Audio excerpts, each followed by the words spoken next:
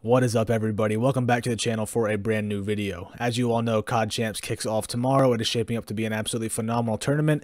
And when I was planning about what video should I make, you know, before Champs, I was like, I'm not really sure. I'm kind of out of ideas. So I thought, why don't I give some love and show some respect to the players who I think have been the best players for their team so far this season. But there's a twist. So I'm going to talk about who I think is the best player for each team at Champs, and I also am going to talk about who I think will be the X factor for their team at Champs if they are going to win the event. Just because, you know, it's kind of hard to quantify who the best player is. Everybody values different things, so I thought, okay, on one hand, I will give just who I think is the best player, and then on one hand, I'll give somebody who I think will be the X factor, and we'll have to go off of their team is going to win Champs. So that's what I did for all the eight teams that will be playing at COD Champs. If you enjoy this video, definitely leave a like down below. Leave a comment as well with your thoughts on the video and who you think are the best players for all the teams at Champs, and also subscribe to the channel as well if you want to see more videos from me in the future because the off season is right around the corner and there will definitely be a lot of content coming from me in the off season. So I appreciate all of that and let's hop right into the video. Okay, we're going to go in order by the way the teams are seeded for champs. So kicking us off, we have the one seed Atlanta FaZe. I think without a doubt their best player is Simp. He is the best player in the world in my opinion. There was a brief point earlier in the season where I thought his teammate and his duo aBeZy was the best player in the world, but I don't think that anymore. I think Simp has just been absolutely phenomenal for this Atlanta FaZe team. He has been arguably, or maybe not even arguably, the best player in the world pretty much for three years straight now. This guy is just an absolute beast. We all know that. We all know how freaking good he is on the map. Not much more needs to be said about that. He is simp. He will show up. He will play well at champs. Their X factor, though, I will go with the BZ, and here is why. aBeZy's kind of their guy, where as we all know, he plays very aggressive. He gets up in the enemy's face a lot, and he makes a lot of plays for them.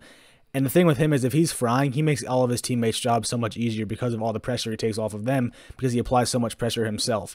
So if he's playing well, it just makes Simp's job easier. It makes Cellium and Arcitys job so much easier as well. Now, the good news for FaZe is that even if aBeZy has a bad event, they still have enough talent that they can still win the event even with him playing poorly because Cellium, Simp, and Arcitys are all good enough where if they are put in tougher situations, they're still good enough to get out of them. But aBeZy definitely makes their job easier, so I think he is their X factor. And if he plays well, they will have a very good chance to win this event. But of course, Simp, he will be there too because he performs pretty much out of this world every time we see him play. Next up, the two seed, the Toronto Ultra. I think without a doubt their best player is Cammy. I think he's a top three player in the entire world alongside Simp and aBeZy. He has been an absolute menace for this team so far this season. The way he plays that aggressive AR role for them, he is just so good. He gets so many kills, makes so many plays, lots of engagements for an AR, high KD. Everything about this guy is phenomenal. However, their X factor, I know a lot of people would probably say Bance, but I'm going to go with CleanX. And for similar reasons as aBeZy, honestly, he is their fast paced SMG player. He is one of the fastest paced SMG players in the entire league, you know, fastest paced overall players. He plays super fast. He puts a lot of pressure on the map, just like I was saying with aBeZy. And same sort of thing. He can make his teammates' jobs easier. When he's up on the front lines getting all the engagements and getting a lot of kills, it's just less work for everybody else to do. And they play such a team friendly environment where if one guy can stand out individually, that just makes it so much easier for the other guys because their goal is already not to play as individuals, but to play as a team. So if somebody's frying as an individual, it just makes everybody else's job so much easier. CleanX is definitely their guy for that. Of course, I think Cam is the best player. I think he can really take over a map. Where CleanX, when he takes over, it's not going to be with a 1.3 or 1.4 KD. It'll be with 75, 80 engagements in a hardpoint game, and he gets 30, 35 kills. I mean, he can just do that. He gets so much damage, so many engagements, puts a lot of pressure on the map, and he definitely is Toronto's X factor to win this event, in my opinion. Next up, the defending champs, the third seed Dallas Empire. Their best player is, of course, Shotzzy. He has been one of the best players in the world for a while now. He had a rough start to the year, but he has really picked it up lately.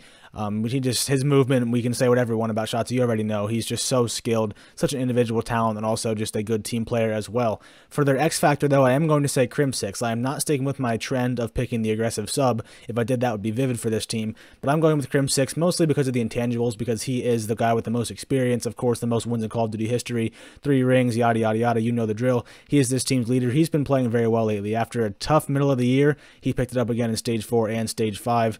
Shotzzy needs some help. Him and Vivid have been playing well. Crim and iLLeY sort of were the weak links there for a while. They are getting better, and it's been showing in their team success as well. So if they're going to do well, Crimsix will have to turn in a classical Crimsix at chance performance. And if he does that, this team has a very good chance to three-peat, or to repeat, in my opinion. The fan favorites, the Optic Chicago, I think their best player is Dashy. I think pretty much over the course of the entire season, you could make an argument for Scump, but Dashy is just so quietly just good. I mean, he puts up numbers, and it just seemed like he really didn't do anything. It's just like another day at the office for him.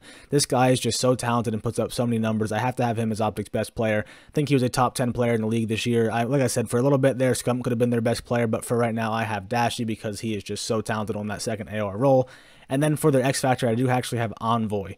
I think he's just their playmaker. We all know that. He makes the plays. It's sort of like If he's playing poorly, they're going to play poorly. But if he plays well, they're going to they're going to win because when this guy takes over a map, it's just infectious to his teammates. You can see if he's like plus 10, plus 15 in a respawn, they're not losing. He just when he picks it up, everybody picks it up and they play really well together.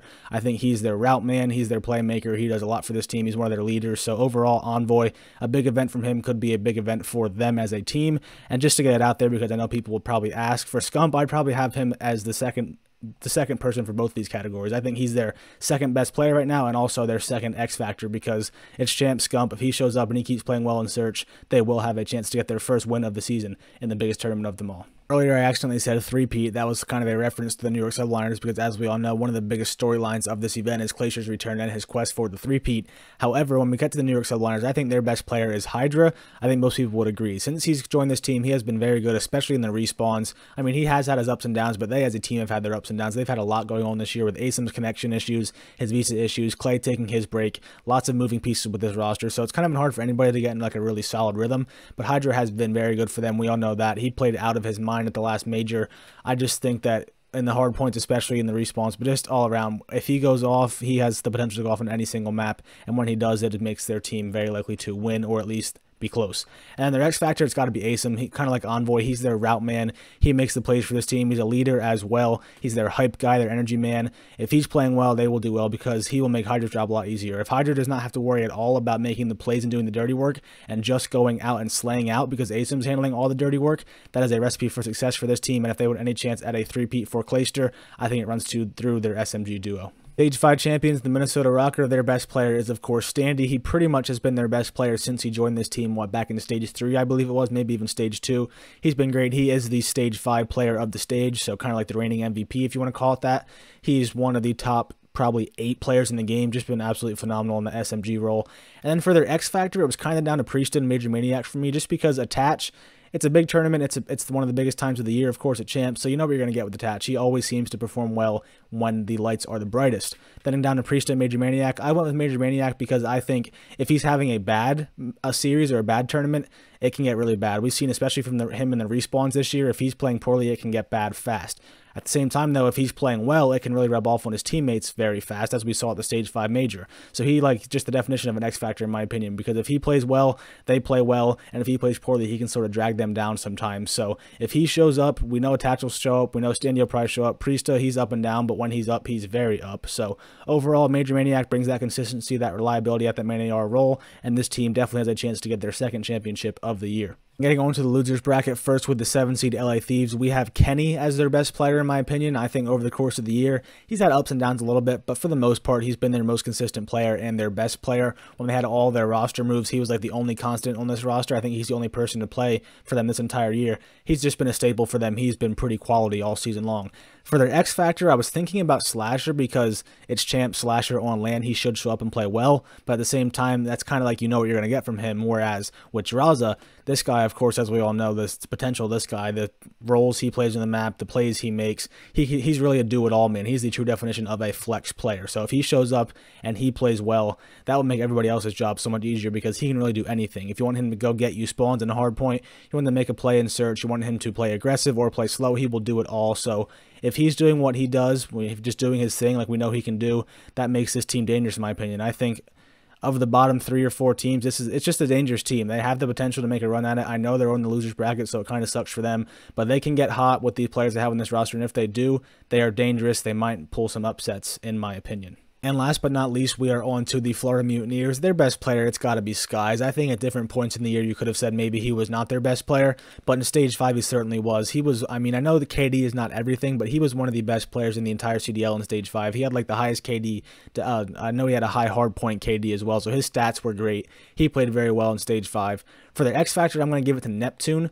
I think he's a playmaker. That's like he's the definition of a playmaker. He's a tough kill. When his movement is on point and he's feeling himself, he's a very tough kill he can make everybody else's job easier, kind of like I've been saying a lot lately. You know, Big Wake is technically their flex player, but I think Neptune is a true flex player. We've seen him play very well. If he picks up somebody's AR, he can play well with that gun. He's a very good search player. This team is inconsistent. We all know that. It has been their Achilles heel pretty much all season long, and Neptune has kind of been inconsistent too. But when he is on, he is on, and he will have to be on for this team to do really anything at champs. So if they want any chance at a run at this thing, I think it starts with these two guys, Skyz and Neptune, and if they play well, anything's possible. So that's going to do it it for this video. If you enjoyed, definitely leave a like down below and leave a comment as well with your thoughts on the video and who you think is each team's X factor as we approach COD Champs. And also subscribe to the channel as well if you want an, an off-season full of videos from me in your subscriber box. I do appreciate all of that so very much. So I hope you enjoyed the video. I hope you have a good day today, and I'll talk to you guys in the next video.